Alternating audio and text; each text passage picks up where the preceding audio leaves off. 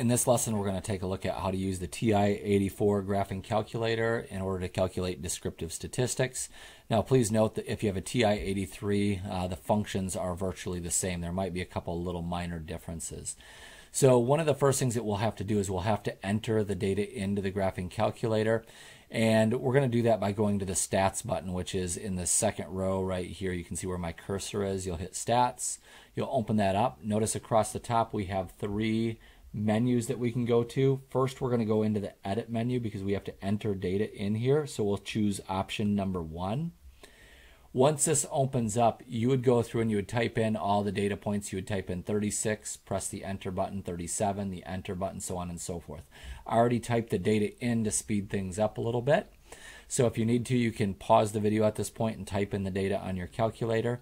Once we have the data in a list, what we can do is we can go back to statistics. And this time we want to go over to this calculate menu. And the way we get there is we use the right navigation arrow right here. And we're going to choose one variable statistics because I'm only dealing with one variable. And then you'll hit enter. Notice the one is highlighted by the way. You could also hit the number one and it'll select that. Since I have a newer uh, TI-84 cal uh, calculator or emulator, um, it has this dialog box where it says list one, and then you have to choose the list that you're using.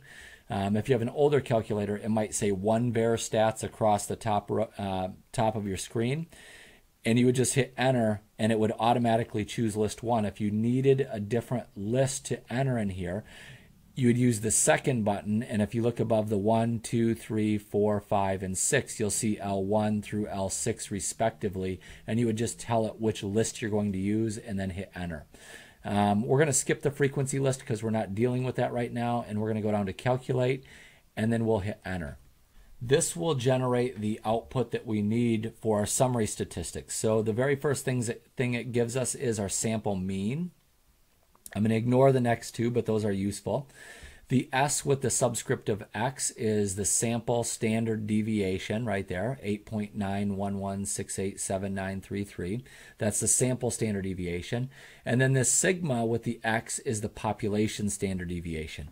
So your calculator doesn't know what type of data you've just typed in. It doesn't know if it's sample data or population data. Now I'm going to tell you more than likely it is sample data.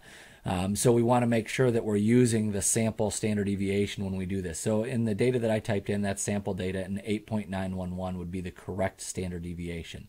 And then we're given the sample size, and if we use the down arrow, you notice there's more measurements down below. The graphing calculator also summarizes that five number summary that we talked about in an earlier video right here. And it's using the same method that we, we used in the video. So it's, um, it's not using Tukey's hinges.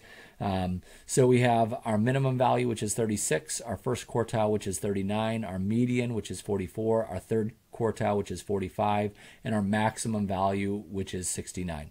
So hopefully this gives you an idea of how to use your graphing calculator to generate summary statistics for doing any other calculations you may want to do.